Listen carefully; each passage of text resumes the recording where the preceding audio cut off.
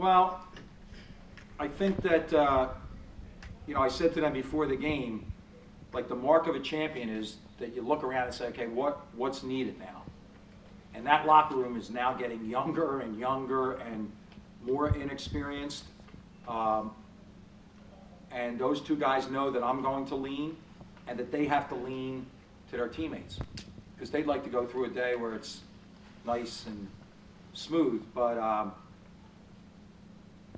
there, there's never been a, since Fresh got to campus, there's never been a thing where one guy looked at the other and went in a suspicious way. So, to me, um, I'm glad I have both of them, and I think that uh, there's a lot more.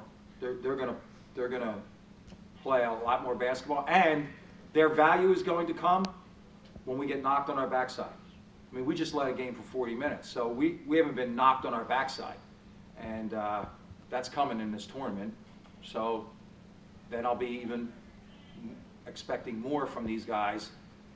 Uh, I'll be honest with you, I, I was a little bit taken back with the starting lineup because I went, holy mackerel, there's two sophomores and two freshmen. But I'm not blinking, like, the, the win was the expectation, win was the need, not the one. We didn't want to win tonight, we needed to win. When you're looking out there and saying, my God, these guys are so young, and they haven't been through everything yet.